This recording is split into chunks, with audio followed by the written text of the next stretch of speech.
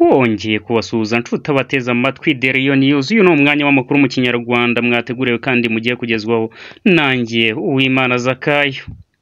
Ni amakuru agiye kugaruka kuri izi ngingo z'ingenzi zikurikira abarenga magana atatu bahuye n'abamaze kwandura icyorezo cya mobag mu gihe kandi ambasade ya leta zunze ubumwe za amerika yabujije abakozi bayo gusubirayo bakajya bakorera akazi kabo mu ngo zabo kubera kwirinda no gukaza ingamba za mobag mu gihe kandi Louise Mushikiwabo arasabira cyane igihugu cya Libani ngo bagishakire umuti ibibazo byabo bitarototera akarere. Indi nkuru turi buze kubabwiraho kuri aya makuru yacu y'uyu munsi wa none turi buze kubabwira ko umugani generali Mubaraka Muganga yaciriye witwa paul rusesabagina. Tubaha ikaze rero mu makuru agezweho muri aka kanya muri uyu mugoroba. Tubibutsa gukora subscribe inshuti bakundwa ba deriyo niyuzi muhawe ikaze. Abarenga magana atatu bahuye n'abarwayi ba mobag minisitiri y'ubuzima mu rwanda minisante yatangaje ko imaze kubona abantu bagera hafi kuri magana atatu bahuye n'abarwayi b'icyorezo cya mobag kimaze iminsi mike kigaragaye mu rwanda ariko ngo bashobora kwiyongera kuko bagishakisha n'abandi baba barahuye nabo.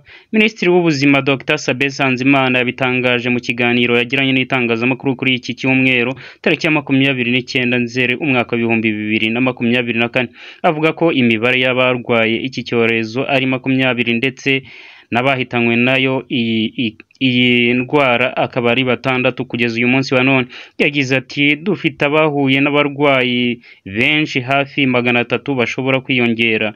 Mushobora kuba mwarahuye mukaramukanya cyangwa se mubana mu nzu ntabwo turarangiza kumenya aho ubwo burwayi bwaturutse. Icyihutirwa ni ukumenya aho ubwo burwayi bugeze tukabukurikirana. Minisitiri w'ubuzima avuga ko abahuye n'abarwayi barimo gukurikiranwa bagapimwa inshuro zirenze imwe hakaba n'abo bavana aho bari bakabajyana ahandi ku mpamvu zo gushaka ibimenyetso vuba kuko ngo iyo ndwara yigaragaza mu gihe kibarirwa hagati y'iminsi ibiri n'iminsi makumyabiri n'umwe nyuma yo gukora ku matembabuzi iyo yirwaye. Mabaga ifite ubukana bukomeye bwo kwica uyirwaye ku rugero rubarirwa hagati ya makumyabiri na gatanu ku ijana na mirongo icyenda ku ijana. Bitewe n'uburyo uwo muntu yihutishijwe kugera kwa muganga mu rwanda ndetse abaturage benshi bagacika urondogora nyuma yaguma mu rugo. Ambasaderi ya leta zunze ubumwe za amerika mu rwanda yasabye abakozi bayo gukorera mu rugo. Ambasade ya leta zunze ubumwe za amerika mu rwanda yasabye abakozi bayo gutangira gukorera mu rugo kuri uyu wa mirongo itatu nzeri umwaka w'ibihumbi bibiri na makumyabiri na kane. Ubwo ni ukuvuga yuko ari ku munsi w'ejo ku wa mbere.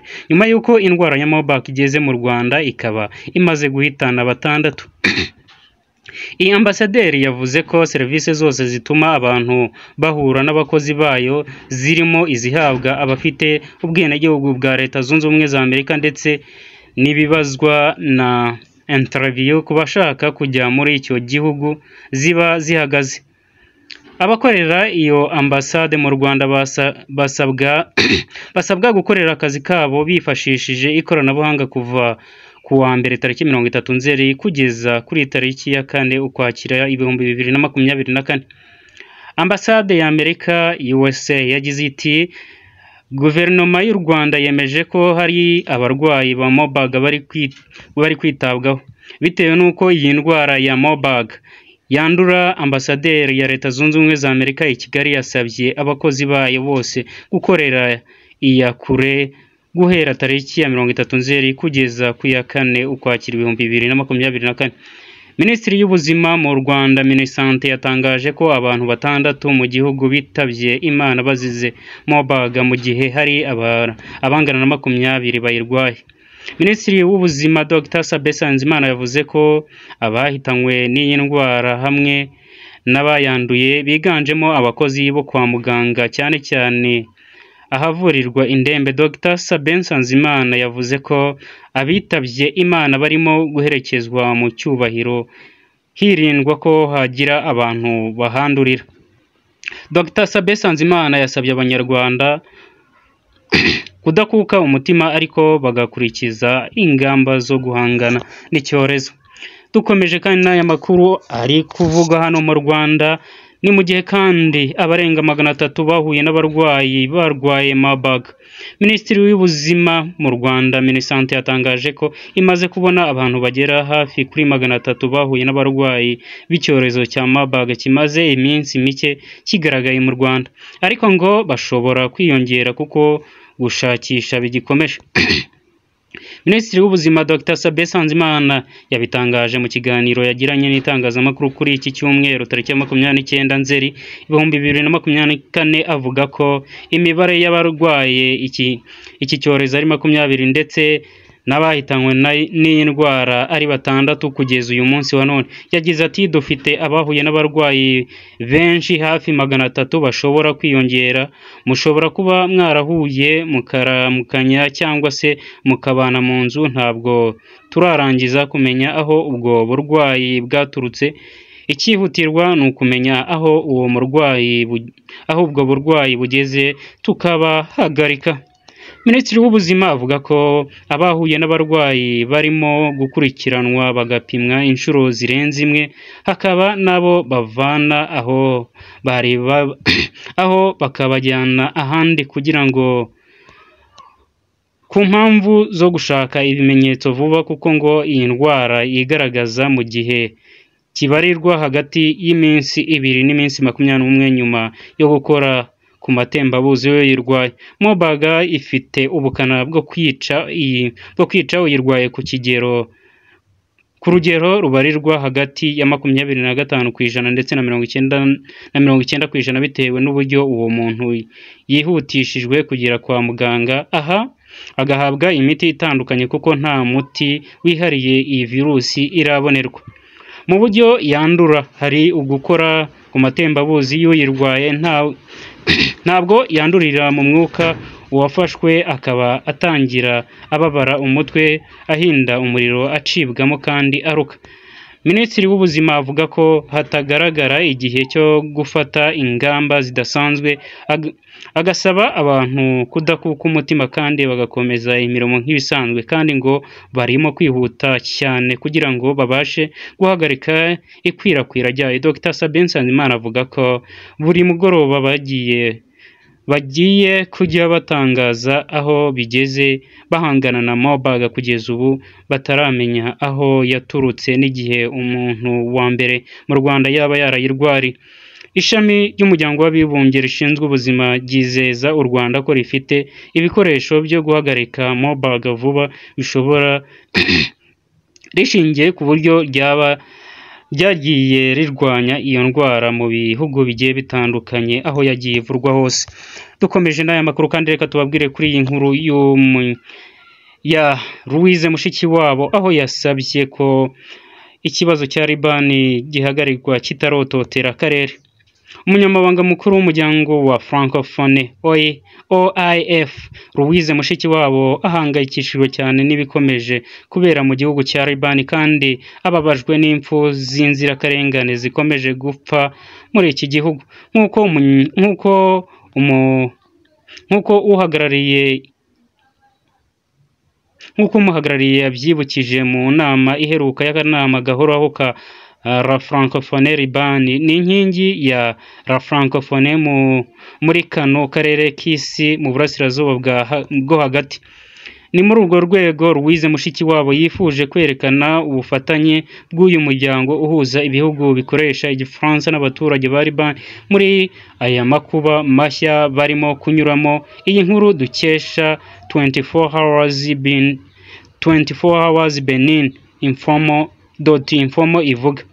Madamu mushiki yasabye mushiki wabo yasabye iyubahirizwa mu bihe byose by'amategeko mpuzamahanga ndetse cyane cyane n'amategeko mpuzamahanga arengera ikiremwamuntu kandi arahamagarira abafatanyabikorwa bose bireba gukora iyo bwabaga. Bagakora ibishoboka ibyo ari byo byose ibintu ibintu ntibikomeze gukomera mu rwego rwo kwirinda amakimbirane yafata akarere. Umunyamabanga mukuru wa oif arashishikariza impande zombi gushyigikira igisubizo cya diporomasi kuri aya makimbirane mu gihe hubahirizwa imyanzuro y'akanama k'umuryango w'abibumbye gashinzwe umutekano. Reka dukomeze n'iyi nkuru kandi aho aho Israel ivuga ko yishe undi muyobozi wa Hezbollah mu nkengero za Beirut. Israel iravuga ko yishe undi muyobozi mukuru w'umutwe wa Hezbollah ufatwa nk'uw'iterabwoba n'ibihugu bitandukanye mu gitero cy'indege mu nkengero za Beirut. Igisirikare cyavuze ko Nabil Kaoul umuyobozi wungirije w'inama nkuru ya Hezbollah yiciwe mu gitero cy'indege kuri uyu wa gatandatu. Nta bisobanuro byatanzwe na Hezbollah nk'uko iyi nkuru dukesha The Tutsi Welles ivuga. Muri ibi byumweru bishize abayobozi benshi bo mu mutwe ushyigikiwe na Iran bamaze kwicirwa mu bitero bya Israel ku wa gatanu umuyobozi w'uyu mutwe wa Hezbollah Hassan Nasrallah yiciwe i Beirut Hezbollah ifatwa nk'umutwe w'iterabwoba n'ibihugu nka Leta Zunze Ubumwe za Amerika, Ubudage ndetse n'ibindi bihugu. Dukomeje n'aya makuru kandi reka tubabwire kuri iyi nkuru ya Michael Mikombe Colonel. Colonel Michael Mikombe ushinjwa uruhare mu bwicanyi bwo kuwa mirongo itatu z'ukwezi kwa munani ibihumbi bibiri na makumyabiri na gatatu i Goma arasabirwa igihano cyo gupfa. Umushinjacyaha wa Leta ya Repubulika ya Demokarasi ya Kongo kuri uyu wa gatanu yasabiye igihano cy'urupfu Colonel Karamba Mike Mikombe umuyobozi wa Brigade y'ingabo zishinzwe zishinzwe kurinda perezida ndetse n'igifungo cy'imyaka icumi ku bandi batatu bareganwa nawe. Mbaya Mbaya Mauti Musembwa na Amita Daniel. Bose bakurikiranyweho ubwicanyi gushaka kwica no kwangiza intwaro zagenewe ingabo.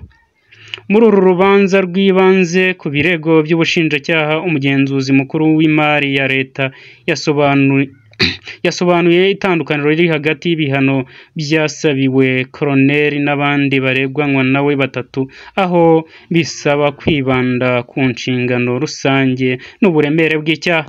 Umushinjacyaha mu nyandiko y'ibirego ati ndasabira igihano cy'urupfu uregwa karamba mikombe igifungo cy'imyaka icumi ku bandi bareganywa ni ku bandi bareganywa.